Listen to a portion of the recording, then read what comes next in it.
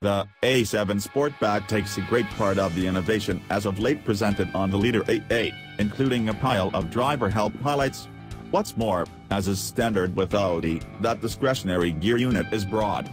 Some of those fitted to our test auto incorporated the Bang & Olufsen 3D advanced sound system, a cell phone interface, telephone charging box and a night vision show.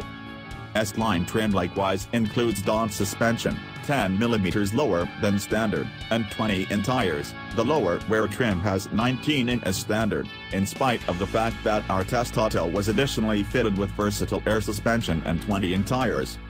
It likewise accompanied Audi's four-wheel guiding framework, built to hand the back wheels over the other way as the front as low speeds to help giving, and in a similar course at higher velocities to expand soundness.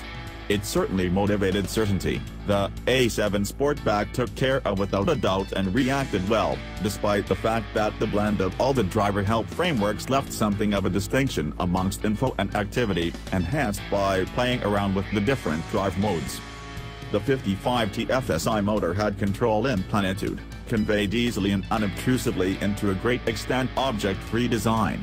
Actually, it requires significant exertion and utilization of the manual riggings, so as to deliver a blending clamor.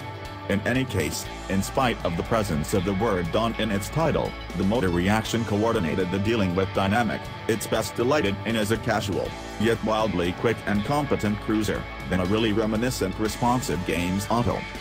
A slight frustration is that that cruising joy is tempered to some degree by a rougher than anticipated drive, even with the drive mode set to comfort. The 50 TDI variant we additionally tried, which kept running on littler 20 in tires, was to some degree smoother, if still not as refined as you may anticipate.